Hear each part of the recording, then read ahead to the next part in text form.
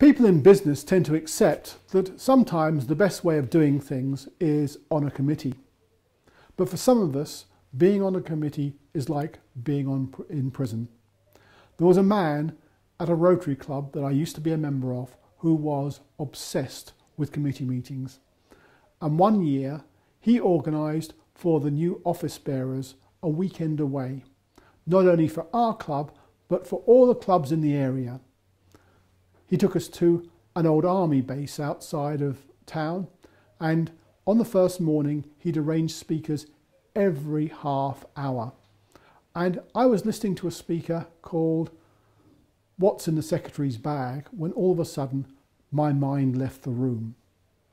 I've used this technique many times over the years, and as I got older, I started to worry that people may see my lips moving to imaginary conversations. But looking around committee meetings, I realised that there were other people there with blank expressions and the lips moving. I used it at home.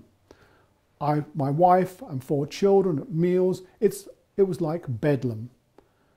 They used to think I was deaf because it would take me two or three times to respond to any, uh, any request.